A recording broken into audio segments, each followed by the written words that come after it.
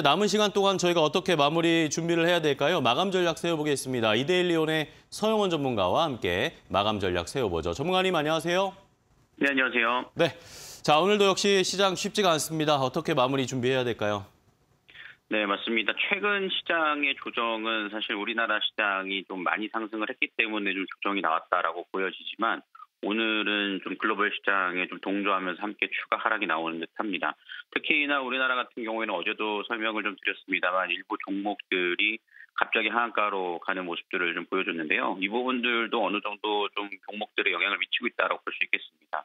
어, 그동안에 많이 상승했던 종목들이 이제는 조금 이제 고점에 대한 공포감이 좀 실리면서 어, 그런 하락, 하한가 나올 수도 있겠구나라는 생각들이 좀 지배적인 모습이 나타나주고 있고 그 로 인해서 신용장고가 높은 종목 과 상승세가 좀 강하게 이어졌던 종목들의 차익 실현 매물이 본격적으로 좀 나오는 게 아닌가 싶습니다.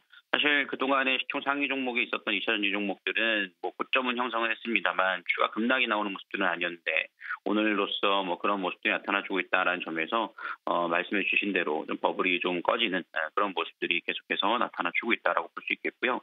특히나 여기에 좀 더, 덧친 데 덧친 격으로 어, 중국에서의 어, 또 기술주와 반도체주들의 약세가 어, 좀 우리나라 시장의 지수 하락을 추가적으로 좀 부추기는 모습들이 나타나주고 있는 상황입니다. 지금 현재 홍콩 지수는 1.74%, 심천 지수는 2.3% 넘는 지수 하락이 좀 이어지는 것을 보면 어, 우리나라 시장도 오늘 좀 반등은 좀 쉽지 않을 것으로 예상을 하고 있고요. 어, 특히나 현대차와 기아 실적이 좋게 발표되면서 상승하는 반면 앞으로 이제 SK 하이닉스와 삼성전자 실적을 앞두고 있는 상황이기 때문에 시장은 당분간 좀 반등이 강하지는 못할 것으로 예상을 하고 있습니다. 어, 그렇기 때문에 코스피 지수는 2,470선, 그다음에 코스닥은 810포인트까지는 좀 열어놓고 좀 대비를 해야 되지 않을까라는 생각이 들고요. 그래도 그 안에서 좀 움직이는 업종들을 보자면 어, 한미 정상회담에 따른 수혜주가 얘기가 나오고 있습니다.